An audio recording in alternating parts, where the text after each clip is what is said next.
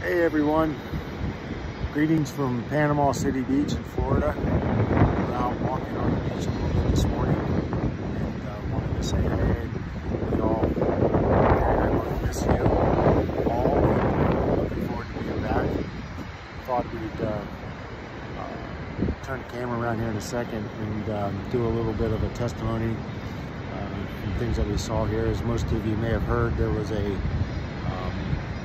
EF3 tornado hit uh, right where we're staying last uh, Tuesday, right before we got here. And um, so it's kind of interesting that the tornado probably hit right out in the building that we were at, so there's damage on both sides. Fortunately, the building that we're in was not damaged other than a few railings and things of that sort. But uh, anyway, as we turn, I got it kind of reminded me of us of a verse as we were um, as we saw this. So uh, I'll walk over there, and Mary will continue to to look at it.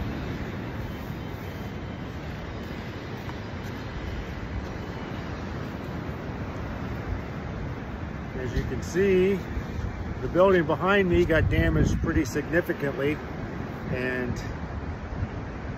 it reminded us of a verse in the scriptures, and I'm going to go ahead and read that verse. Uh, this is from Matthew 7, uh, starting in verse 24. It says, Therefore, everyone who hears the words of mine and puts them into practice is like the wise man who built his house on the rock.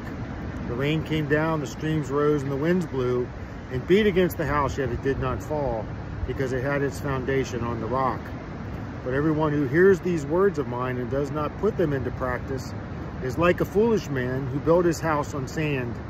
The rain came down, the streams rose, and the winds blew, and, the, and beat against that house, and it fell with a great crash. So you can see this building behind us. The, the wind hit that, and it fell down. And I'm sure it was built according to codes and everything, but you know, there's no guarantees in life of uh, any kind of uh, building lasting through any kind of a earthquake or storm or tornado the scripture is a good reminder that we build our house on the words that Jesus said, and we should be doing those, and you know, our eternal house is secure. So uh, anyway, it was a good reminder for us when we see some of the damage that we saw here that you know, nothing's permanent except for our relationship with the Lord and the kingdom of God. So hopefully everybody's encouraged, and uh, we're looking forward to seeing you again. And uh, God bless you and have a great service.